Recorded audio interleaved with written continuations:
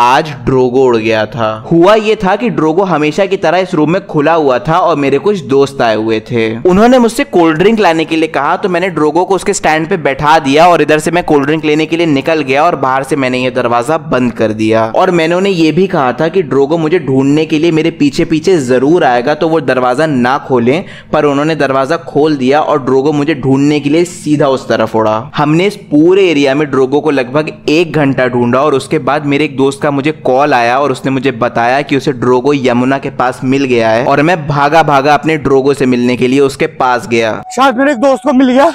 पुल पर हम जा रहे हैं। एक घंटे से ढूंढो मैं उसे। इसका पूरा ब्लॉग हमने अपने डेली व्लॉगिंग चैनल पे डाला है तो अगर आपको वो देखना है तो आप हमारे पिंड कमेंट के लिंक पे क्लिक करके हमारे डेली ब्लॉगिंग चैनल पे जाके इस पूरे ब्लॉग को देख सकते हैं।